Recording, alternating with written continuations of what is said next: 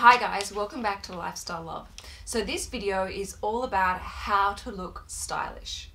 Now, I'm not including myself in one of these people that always look stylish. I'm the sort of person you will bump into me when I'm looking my worst. I'm dressed like a complete dag. I'm wearing no makeup and I probably have wet hair and it's always those moments where I think I can just quickly duck out to run a few errands or grab something in the supermarket crap, I bump into someone I know and it's always so awkward and so embarrassing.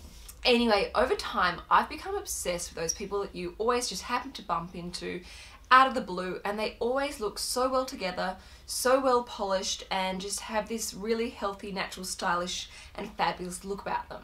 And over time, I've been analyzing and discussing with my girlfriends how these people just do it.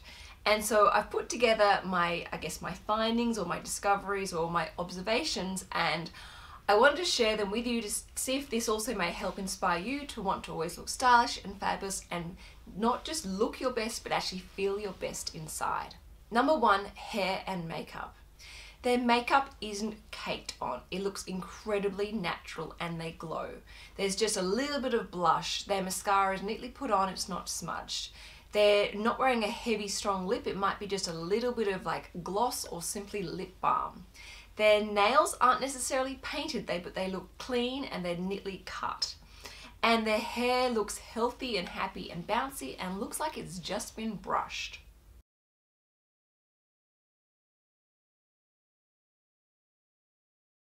Those simple combination of things just help people look so much more put together and healthy. Number two is accessories. Whether it be a fabulous pair of like black cat-eyed sunglasses or gold rimmed aviators or a really cool loud strong bold cuff or the layering of delicate gold um, pieces around the neck or the wrist somehow it takes that outfit and takes it to a new level that just looks so much more sophisticated and stylish.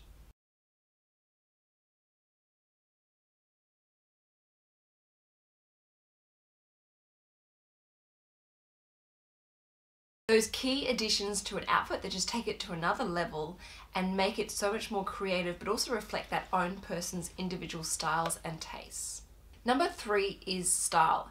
They don't just put on their clothes in the morning, they style them and wear them with flair. So they don't just put a simple white t-shirt on, they might roll up the sleeves or they might neatly tuck in a shirt all the way around a pair of jeans which really accentuates the, the waistline.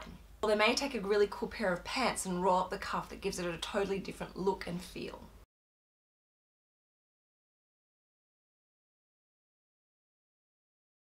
Or simply just scrunching up the sleeves of a shirt or a blouse to show the elbows, just giving it that sort of sexy, sophisticated look. Number four, shoes and handbags. Both the shoes and handbags are in good condition. They're not looking dirty or scuffed or tired. And often than not, they somehow match, whether it be this similar type of gold hardware or whether it be the same color or something about the same pattern or stitching. Somehow they just look in sync together and help make the outfit all come together neatly.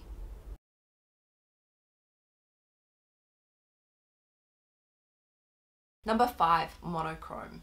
Often they might be wearing, say, all black, but they don't look dull and boring and washed out because they've added a little pop of color, whether it be a really beautiful strong red lip or whether it be a really cool bold necklace or a brightly colored scarf or a fantastic handbag that just like shines out from the outfit. They're the type of people that catch your eye as they walk down the street.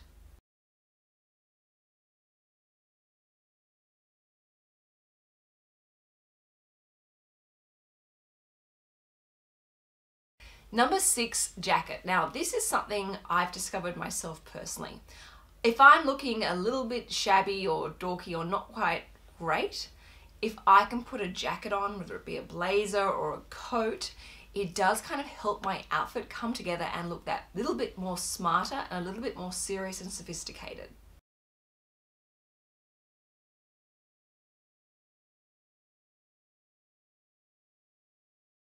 And again, that jacket looks like it's in good condition. It's well made, it sits on the body correctly the way it should do. And again, it helps take that outfit from being simple to that little bit more stylish and fabulous. Number seven is fabric. When you look closely at the fabrics they're wearing, they don't look cheap and nasty. They look really well made, like they've actually taken care of their clothing and garments. They wear them with pride. The colours aren't faded, the stitching's intact, buttons are still neatly sewed on tightly.